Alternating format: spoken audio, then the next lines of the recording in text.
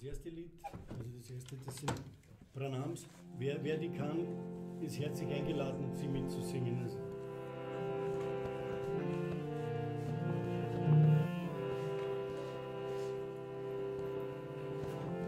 Vandeham Shri Guru Shri Juta Pada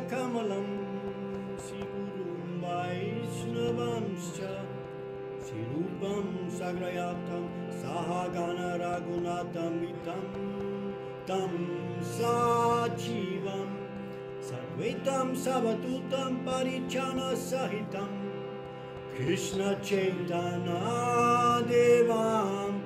श्रीराधाकृष्णपदां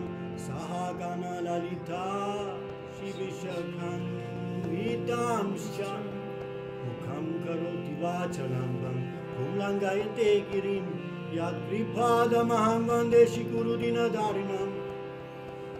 ඕම් විෂ්ණු පදාය දිව්‍යඥාන ප්‍රත්‍යයිතේ श्रीमती परमद्वैती स्वामीना श्री रूपिणे शरणागत भक्त पाय सुद भक्ति विदाहिने विशुद भक्ति सिद्धांत धार धारणी सेविने नौ विष्णु बदाय कृष्ण प्रेष्ठाय भूतले Shrimati Bhaktivedanta Swaminiti Namine Namaste Saraswati Deve Gauravani Pracharine Nivishesha Sunavadi Pasaryadi Sadarine Namo Mahavandanaya Krishna Prema Pratahite Krishnaya Krishna Chaitana Namne Gorodvise Namaha Namo Go Brahmanaya Divayo Go Brahmanahitaya Cha Chakatitaya Krishnaya Govindaya Namo Namaha.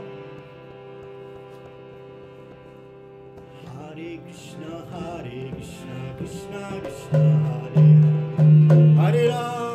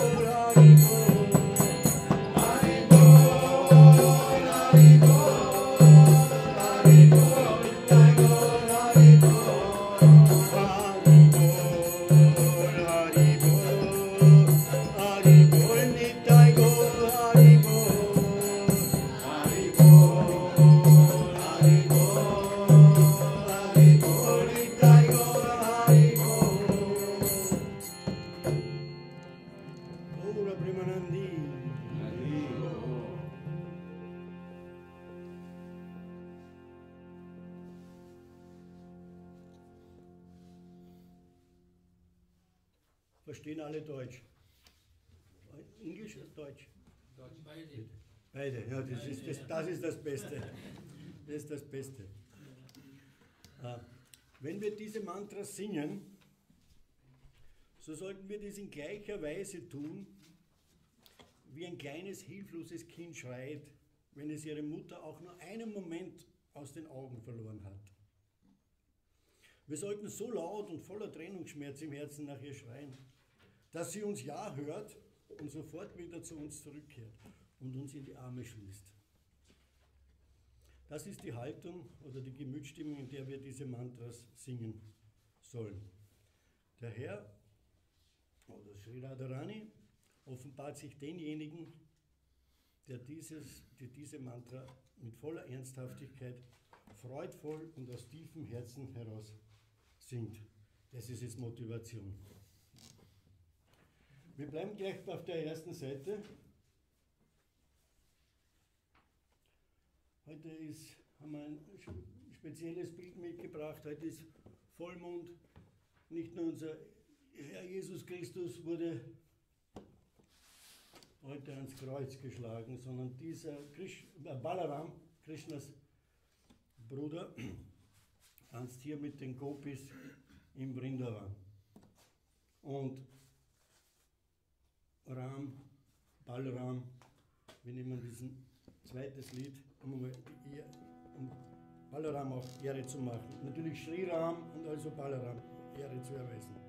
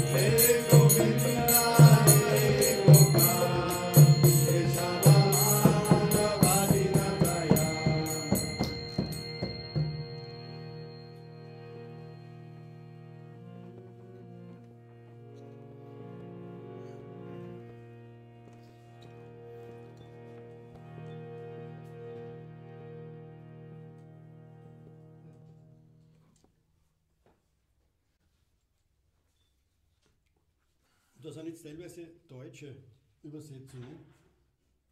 Mal was anderes. Und da geht es um den, um, den, um den Trennungsschmerz. Also, dass das eine sehr hohe Ebene ist, in, in, auch in der weltlichen Liebe und auch in der göttlichen Liebe, den Trennungsschmerz äh, zwischen die Sehnsucht äh, zum Liebenden oder zum Geliebten in der Trennung. Und da fangen wir an mit dem, mit dem Gauranga Polite habe. Das ist zuerst äh, äh, Bengali und dann ist es quasi ins Deutsche übersetzt.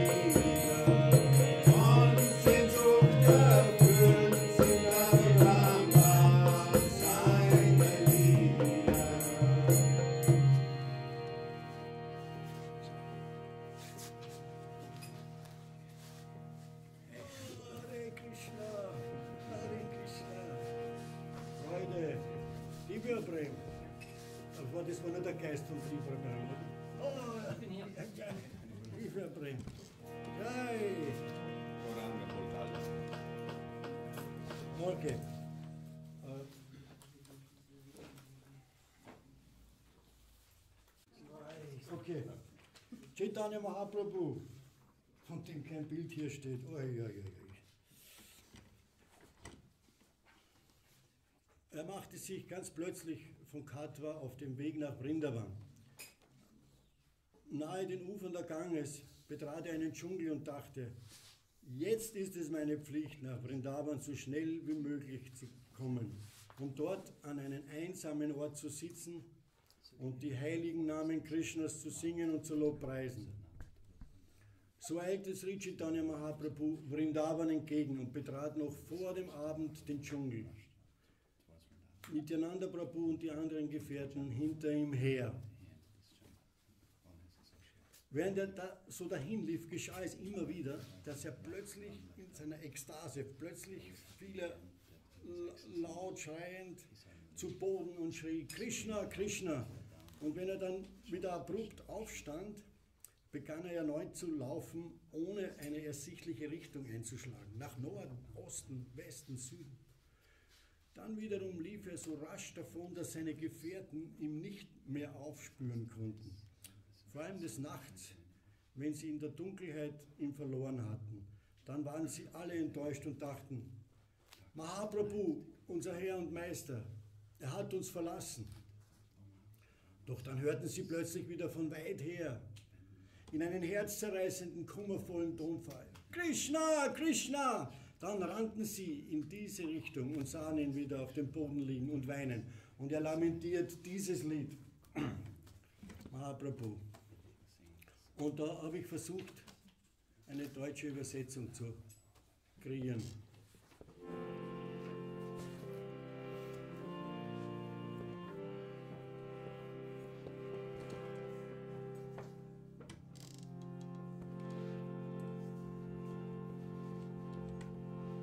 Wer Chaitanya Mahaprabhu, vielleicht gibt es eine Ausnahme hier, nicht kennt, er ist einfach die Repräsentation von Radha und Krishna in einer Person.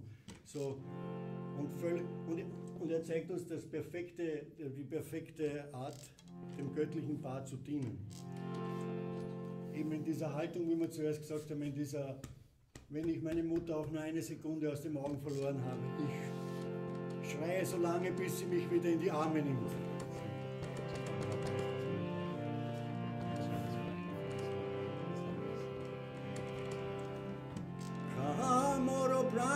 Prananata Murali Vadan Kaham Koron Kaham Ban Brachingranandana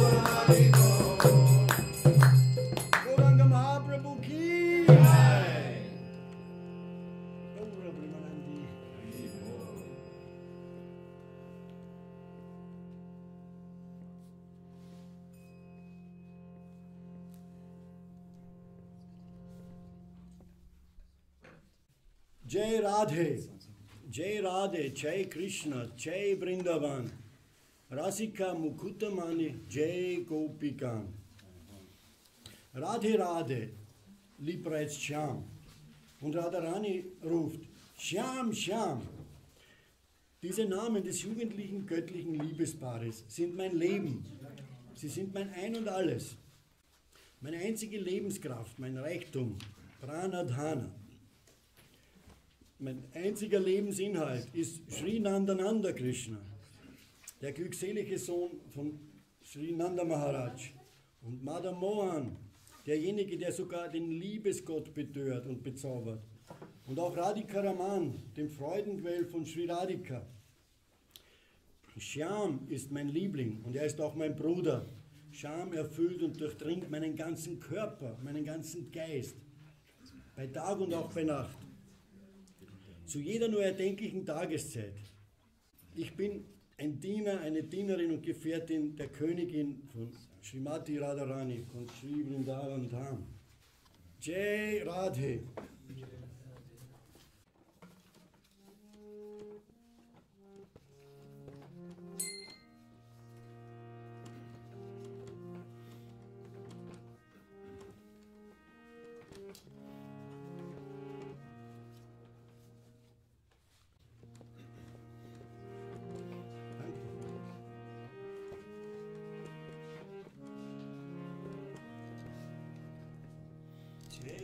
Radhe जय कृष्ण जय भवान् राशिकामुख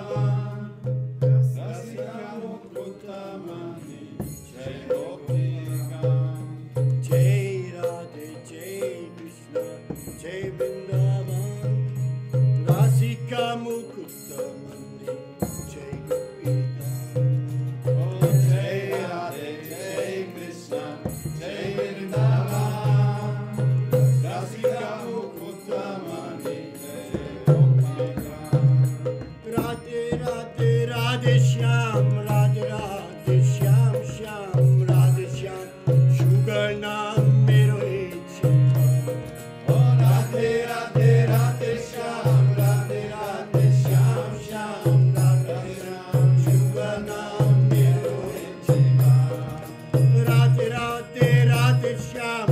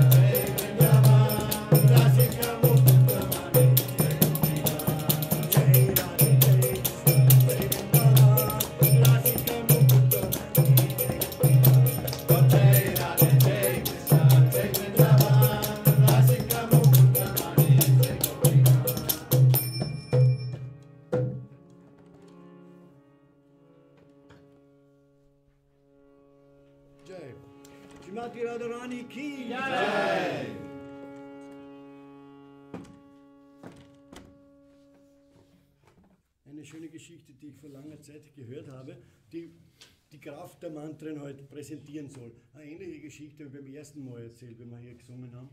Das ist eine, eine, eine, eine sehr ähnliche Geschichte eigentlich.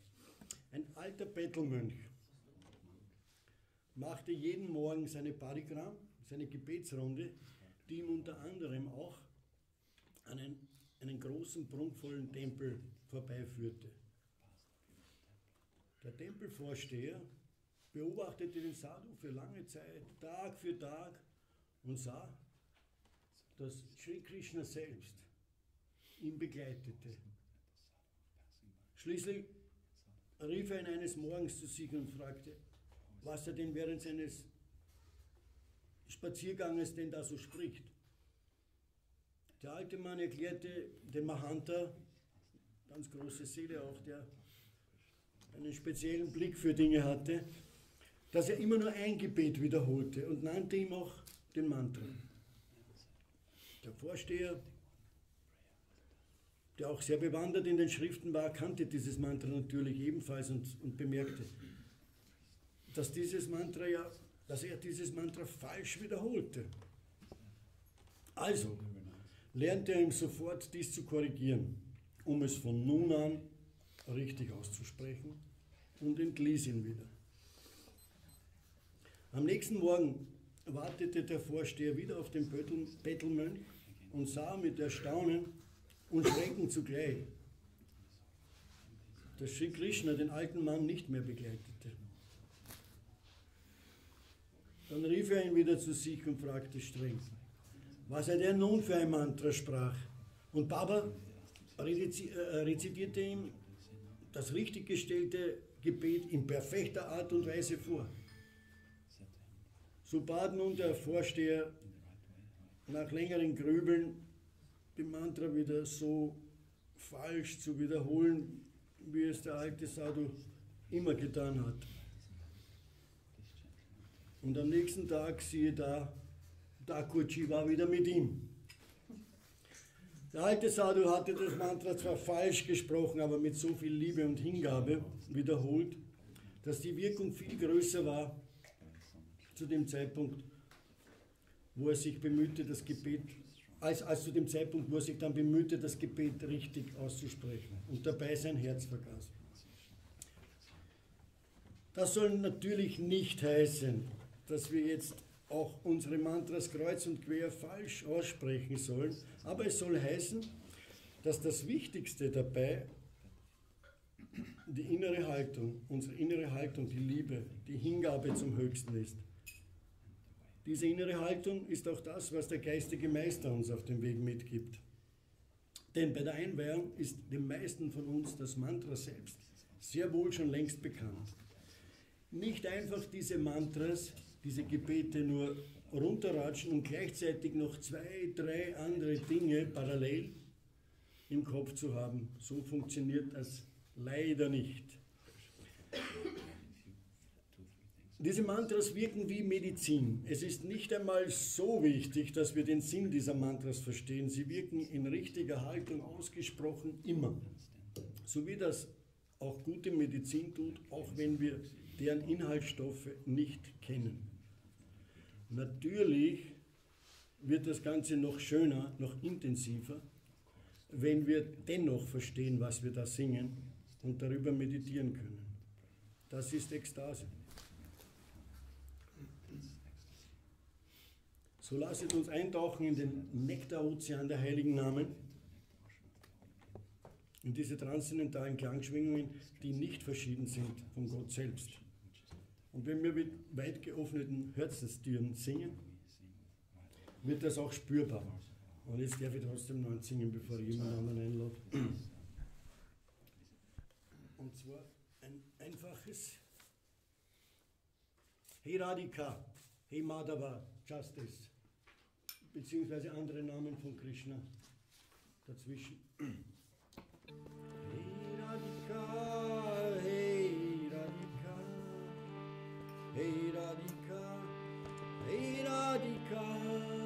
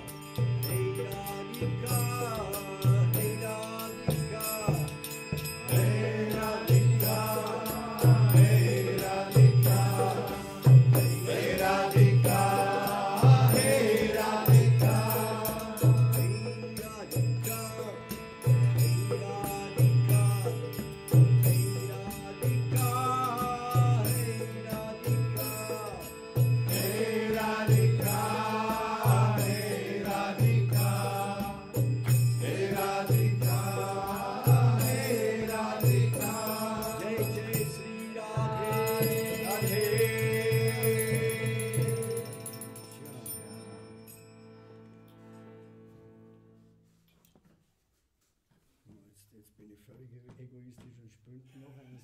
Und zwar, wir, wir, haben, jetzt- wir haben ein ganz schönes Lied, äh, das ich immer nur zu Hause singe und das ich gerne mal mit vielen Leuten singen würde. Und zwar von einem wie wir das machen jetzt, das wird, das wird sich herausstellen. Das ist unser wun- wunderschönes Lied vom Shivalabhacharya. Und das ist ein Zeitgenosse, ein großer Vaishnava Acharya und Zeitgenosse von Chaitanya Mahaprabhu. Vallabhacharya, ich meine, das ist eine englische Übersetzung, das ist einfach der hat Krishna in seiner Babyform in erster Linie verehrt und der, wer, wer da drüber schaut ins Englische, er ist einfach in, in, in, in Ekstase. Er, er, schreibt, er schreibt, er schreibt, oder er sagt, Sri Krishna, Gopal, seine Lippen sind süß, sein engelhaftes Gesi- Gesicht ist süß oder schön, sein, seine hypnotisierenden Augen sind süß, sein gefühlvolles Lachen ist wunderbar, seine bezaubernde Gangart ist so lieblich, süß, alles um den lieblichen König, alles um ihn herum ist sweet. Und das ist, wir versuchen das, glaube ich, jetzt mal gemeinsam. Ui. Schauen wir mal, wie das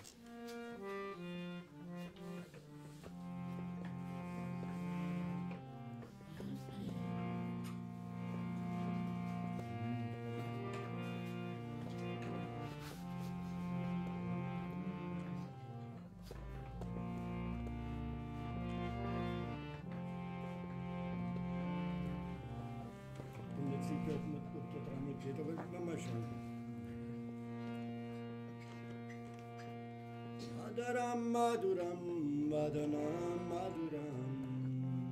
Nayanam Maduram Hasitam Maduram. Nayanam Maduram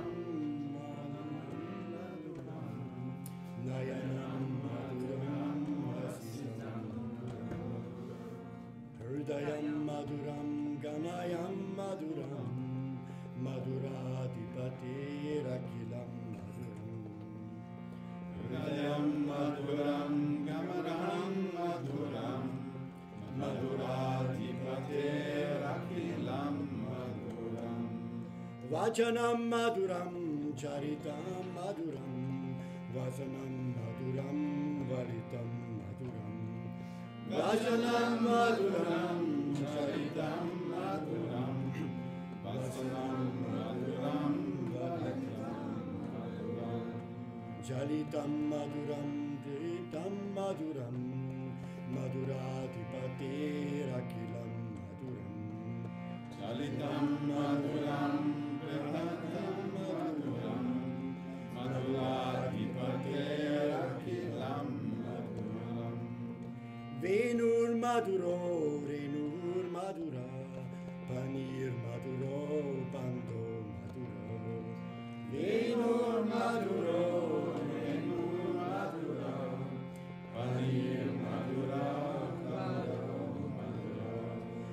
Nityam Maduram Shakyam Maduram Maduradipati Rakilam Maduram Nityam Maduram Shakyam Maduram Maduradipati Rakilam Maduram Gitam Maduram Vitam Maduram Puktam Maduram Suptam Maduram, maduram.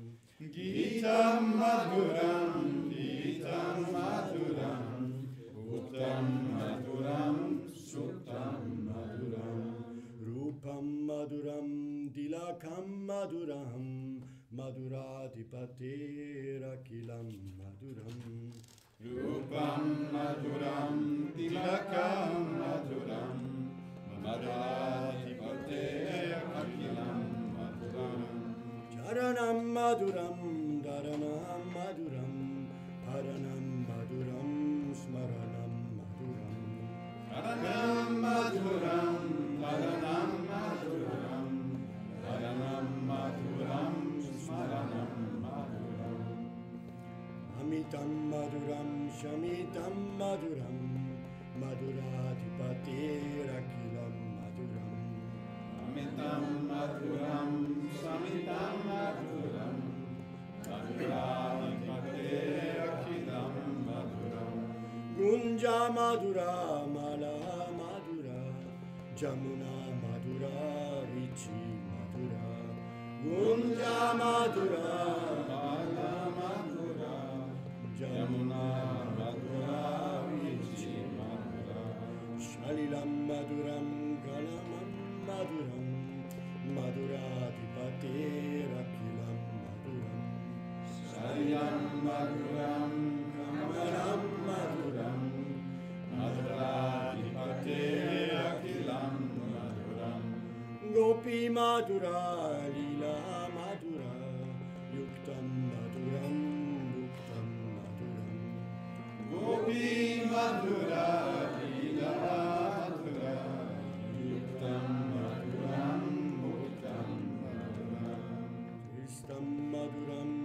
Madhuram Madhuram Madhuradipatirakhilam Madhuram Vistam Madhuram Shistam Madhuram Madhuradipatirakhilam Madhuram Gopa Madhura Gavo Madhura Yastir Madhura Shistir Madhura Gopa Madhura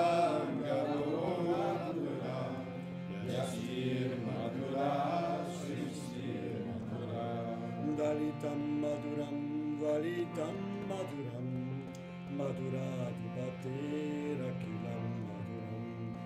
Dalitam Maduram, Valitam Maduram, Madhuradhipathirakilam Maduram.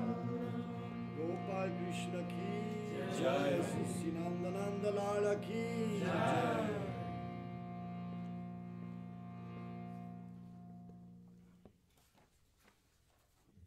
His lips are sweet, his cherubic face is sweet, his mesmerizing eyes are sweet, his soulful laugh and smile is sweet, his loving heart is sweet, and his enchanting gait is sweet. Everything about the King of Sweetness is sweet. His words are sweet, his character is sweet, his garments are sweet, his posture is sweet, his movements are sweet, and his roaming is sweet. Everything about the King of Sweetness is sweet. His flute is sweet, the dust of his lotus feet is sweet. His hands and his feet are sweet. His dancing is sweet, and his friendship is sweet. Everything about the King of Sweetness is sweet. His song is sweet, his drinking is sweet, his eating is sweet, his sleeping is sweet.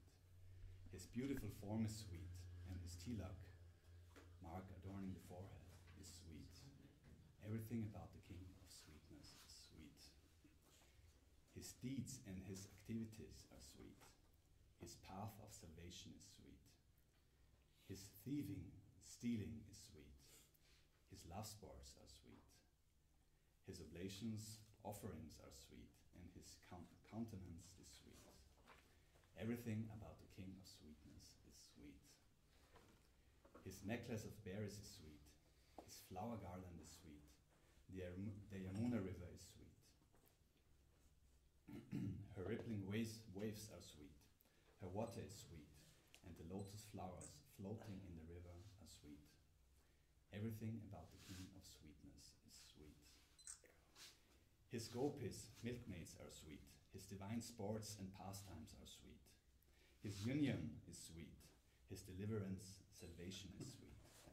His sidelong glances are sweet. His etiquette is sweet. Everything about the King His gopis, his gopas, cowherd friends, are sweet. His cows are sweet. His herding stuff is sweet. His creation is sweet. His treading is sweet, and his accomplishments are also sweet. Everything about the king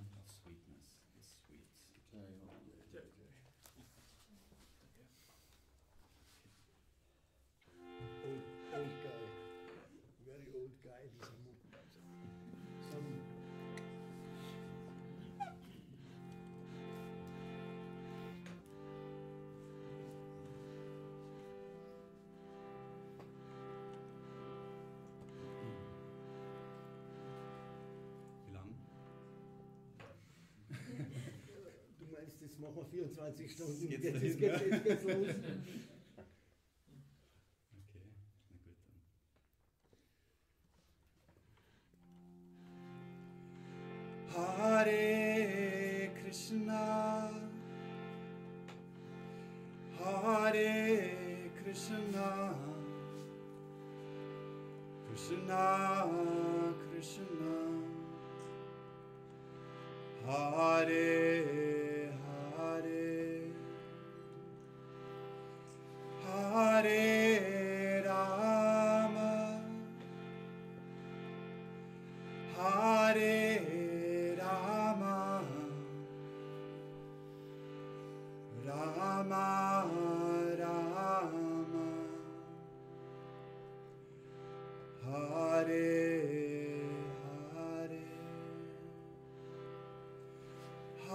it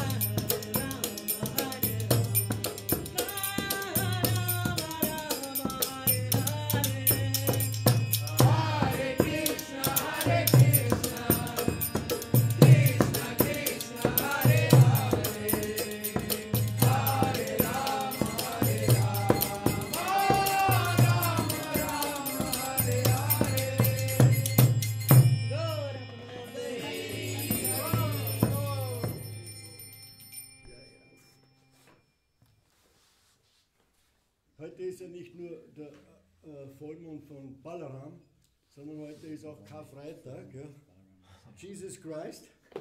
Und da ist mir spontan. Äh, Hanuman. Nein, das ist Jesus.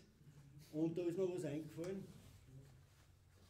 Es ist ein, das wäre jetzt ein schönes Experiment, sage ich einmal, weil ich habe das im Prinzip, das ist mir einfach eingefallen und Halleluja.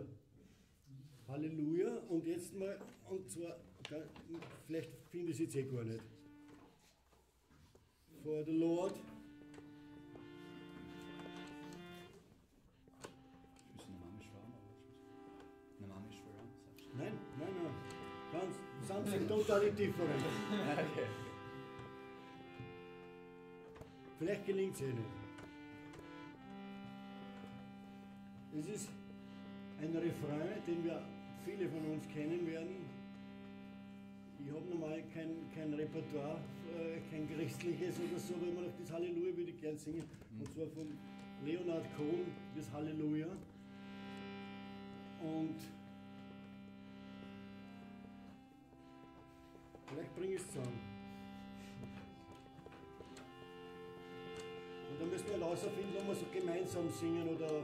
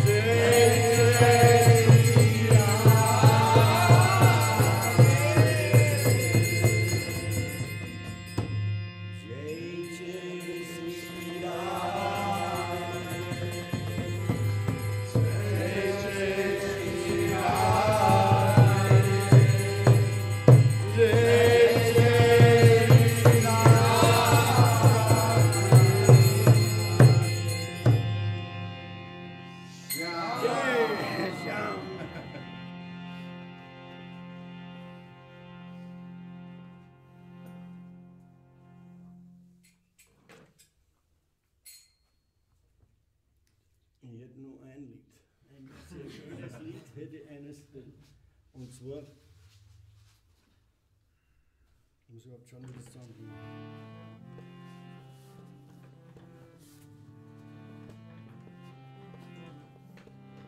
Das könnte funktionieren. Könnte funktionieren. Und zwar nicht nur die Sonja und ich äh, verehren den Nirvana Swami sehr. Nirvana okay. Sohn muss schlafen gehen. Verstehe. Sperrstunde. Schön, dass du da warst. Bei Papa ist es ja eh sowieso.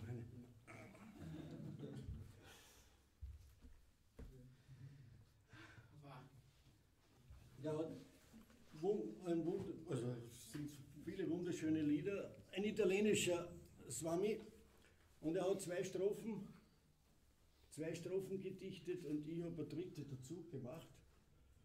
Und wenn ich den Text noch finde, dann singen wir das. Und zwar There is a river, a holy river within my heart. And Krishna comes and plays his flute on the banks of my heart. And I come closer to the river to meet my beloved. And Krishna comes and plays his flute on the banks of my heart. And I dive deeper in my savor to chant the holy name. And I can feel now his blissful form and his name are the same. Hare Krishna, Hare Krishna, Krishna Krishna, Hare Hare. Hare Rama, Hare Rama, Rama Rama, Hare Hare.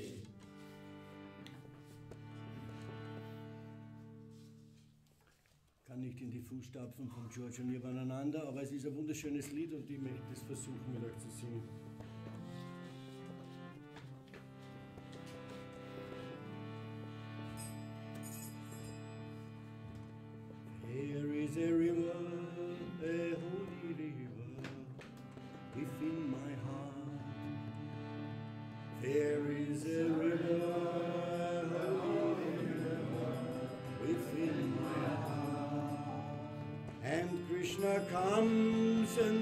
His flute on the banks of my heart. And Krishna comes and plays his flute on the banks of my heart. And I come closer to the river to meet my beloved. And I come closer to the river to meet And I come closer to the river to meet my beloved. And I come closer to the river to meet my beloved. Krishna comes and blazes blue on the banks of my heart. And Krishna comes and blazes And Krishna comes and blazes blue on the banks of my heart. And Krishna comes and blazes blue on the banks of my heart. and I dive deeper in my savor to chant the holy name. And I dive deeper in my savor to chant the holy name. And I can feel now his blissful form and his name are the same. And I can feel now his blissful form and his name are the same. And I can feel now his blissful form and his name are the same. And I can feel now his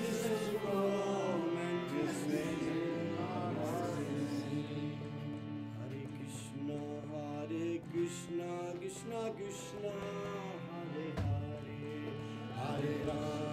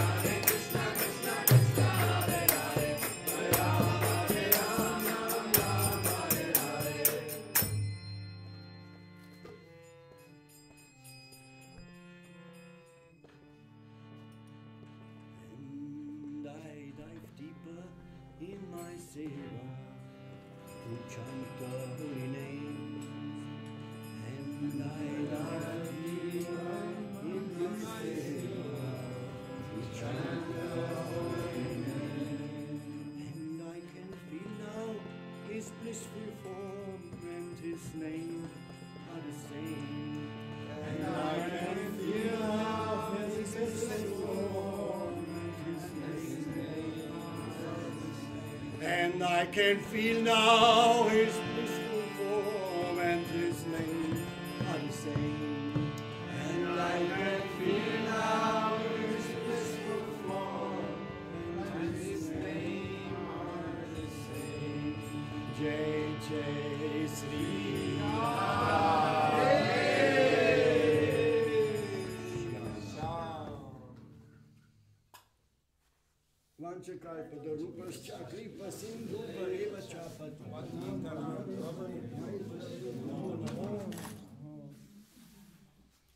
herzlichen Dank für euer Kommen.